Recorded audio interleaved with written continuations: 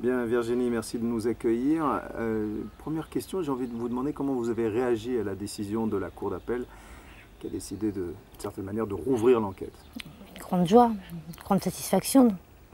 Euh, des larmes aux yeux, euh, le temps de prévenir toute la famille, ça a été euh, phénoménal. On compte d'ailleurs fêter ça dimanche après-midi. Vous y attendiez? Un peu, oui. Enfin, on espérait. On n'avait pas un oui catégorique, mais on- étant présente à Grenoble, on y croyait un peu quand même. Qu'est-ce que vous attendez justement de cette euh, nouvelle enquête?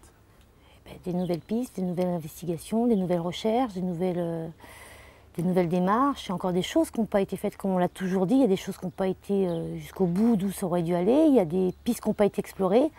Aujourd'hui, le fait de réouvrir l'enquête, ça va nous permettre d'aller jusqu'au bout de tout ça. Vous pensez à quoi comme piste exactement? Euh, Il y a eu euh, quelques faits euh, sur euh, le département de Rennes, par exemple, où euh, peu de temps après l'enlèvement de Ludovic, quelqu'un a contacté la juge en disant que Ludovic était dans une bonne famille, qu'il allait bien, que tout allait bien, qu'il fallait rassurer la famille. Moi, dans les années 2000, j'ai été contactée par une infirmière me disant avoir vu Ludovic. Et puis bah, ça s'est arrêté là, du jour au lendemain. On n'a pas été voir par là-bas. donc ça, c'est une bonne piste aussi à aller voir. Il y a aussi des gens qui ont été arrêtés dans l'affaire dite des disparus de l'Isère. Oui. Donc il faut encore un peu fouiller au niveau, euh, au niveau d'ici. Il y a des corps aussi enterrés sous X, il va falloir faire des tests.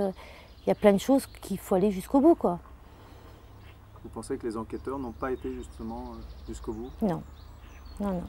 Peut-être un peu dépassé par euh, la trentaine d'années euh, qui s'est écoulée. Est-ce que, que 30 ans après, à votre avis, on peut retrouver des choses? Oui, il n'est jamais trop tard. Faut simplement y croire. dans, dans les articles qu'on peut lire, il y a quelque chose qui ressort aussi, c'est que votre famille n'a pas vraiment été informée de l'évolution euh, de l'enquête. Non, du tout. On a toujours été au courant les, les derniers de plein de choses. Euh, on apprenait souvent par la presse euh, des faits nouveaux, des machins, mais nous, non. Il faut dire quand même que depuis qu'on a rejoint le cabinet Seban et Corinne Herman, euh, on arrive quand même à avoir plus de renseignements avant les autres. Tandis qu'avant, c'était par la presse. Est-ce que vous avez encore en, en souvenir euh, ce jour du, du 17 mars 1983 Bien sûr, on ne pourra jamais oublier cette journée-là. Comment vous, vous l'avez euh, vécu alors? Moi, je me rappelle juste avoir vu mes parents pleurer à la télévision parce que je n'étais pas présente. Et puis, euh, puis voilà, puis j'ai pleuré, je ne sais même pas pourquoi, parce que je ne comprenais pas étant petite. Mais après, quand on grandit, on voit bien qu'il manque quelqu'un, qu'il y a un vide. Après, ça a été très difficile pour mon frère aîné, ça l'est toujours, et c'est très douloureux pour lui, parce qu'il était un peu plus vieux et qu'il se rendait un peu plus compte des choses.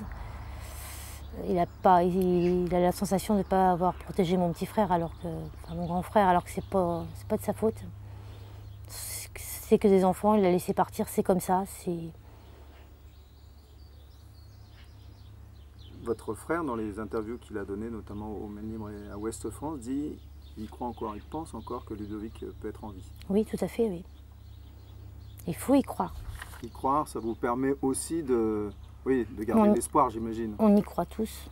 On va pas se dire aujourd'hui, on peut pas dire qu'il soit décédé puisqu'on n'a pas de corps, on n'a rien. On peut pas euh, dire que c'est un.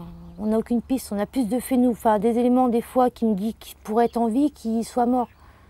Après, on s'est mis aussi à l'évidence qu'un jour ou l'autre, oui, il pourrait éventuellement être décédé. De...